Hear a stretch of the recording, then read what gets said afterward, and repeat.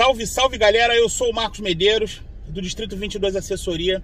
Eu vou estar tá fazendo um vídeo para vocês hoje explicando é, de maneira simples para que vocês consigam entender o que está acontecendo com relação ao inquérito dos decretos do presidente Bolsonaro, tá?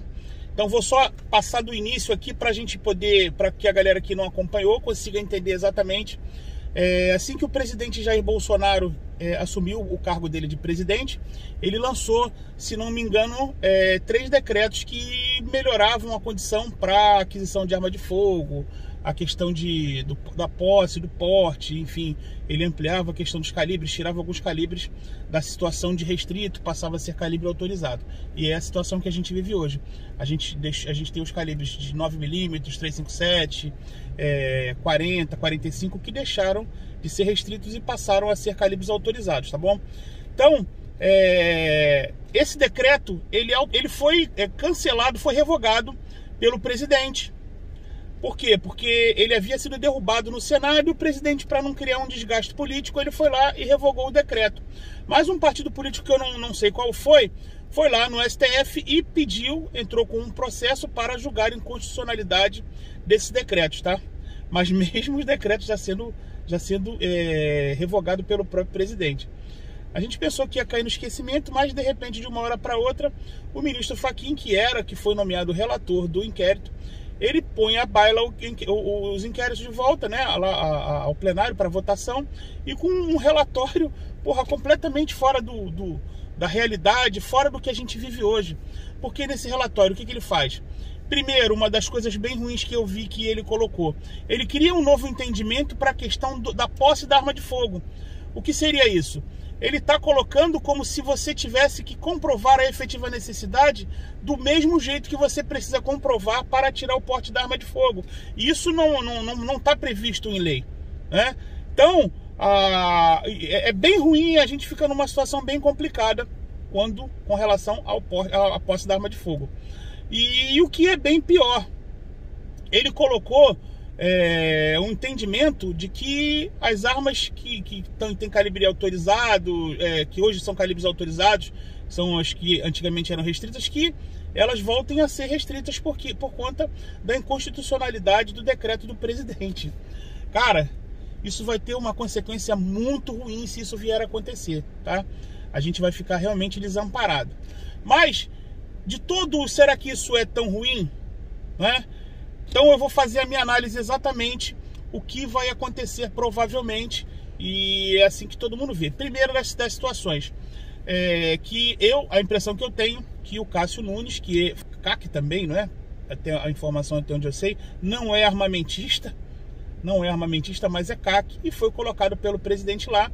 Teoricamente, ele não iria jogar contra a maior pauta que o presidente é, usou como campanha é, para a eleição dele. Então, isso, isso eu tenho certeza que provavelmente irá acontecer.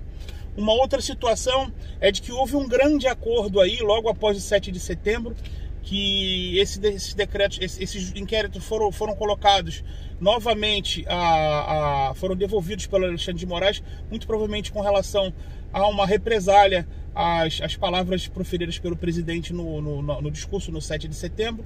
Então, a gente vê essa reviravolta toda. Existe um boato de que houve um grande acordo e a gente vai ter é, o retorno disso aí no dia 17 ao dia 24 desse mesmo mês aí. Se realmente houver esse acordo, vai haver alguma coisa aí que venha a pelo menos dar uma paralisada nessa situação.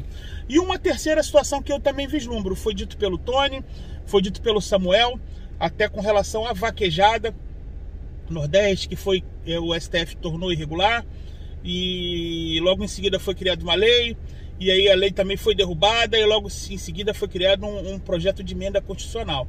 E hoje a vaquejada está autorizada lá no Nordeste. É a mesma coisa. Será que é tão bom a gente ficar o tempo inteiro é, à mercê de, de, dessas legislações que vêm, que vão de, de, mudança de governo, e um muda, outro muda, e a gente fica sempre sem uma legislação é, própria para nossa situação, para nossos casos a qual a gente possa se escorar nela e realmente falar, é isso aqui que existe? Então, de repente, é hora da gente começar a pensar e discutir nisso aí essa situação que possivelmente seria uma situação de catástrofe para gente, pode ser que seja o início de uma coisa muito boa. Então, o conselho que eu dou nessa situação agora, não vamos ficar criando expectativas erradas, não vamos ficar é, é, achando coisas, nem imaginando aquilo que, que pode acontecer de tão ruim. Eu acho que existem gente, existe gente lá no Congresso que, que é favorável às nossas pautas. O nosso, próprio, o nosso próprio presidente Bolsonaro é um presidente forte, sim, ainda é um presidente forte, que tem um apoio popular muito grande, então eu não vejo motivo para o desespero nem para que a gente venha sair pregando o final do mundo, tá certo, galera? É, essa é a situação que eu vislumbro. Tem muita gente me mandando mensagem, tem muita gente me mandando recado através dos vídeos lá, através do próprio WhatsApp, perguntando se os processos vão ser indeferidos por conta é, desse, desse, de, de, de, desse decreto ter sido colocado de novo à votação. Então eu, eu tô ligando, tô dizendo para vocês que até então não existe nada, a regra continua a mesma, não mudou nada, e se houver uma mudança, não vai ser do jeito que todo mundo está falando. Eu acredito que tem que se esperar com calma e, e, e com inteligência para que ninguém fale nem faça alguma, algum tipo de besteira, tá bom, galera? Isso aí foi o que eu, eu, é o entendimento que eu tive. Espero ter contribuído com vocês é, para que vocês possam entender de alguma maneira. Gostando do vídeo, não deixe de se inscrever no canal, porque isso é importante para a gente continuar fazendo. É, não deixe de deixar o like. Se tiver alguma dúvida aí, pode botar aí no comentário a interação de vocês é importante para a gente continuar fazendo os nossos vídeos aí, é, o vídeo ter repercussão e a gente continuar trabalhando, tá bom? Um abraço aí, fiquem todos com Deus e até o próximo vídeo.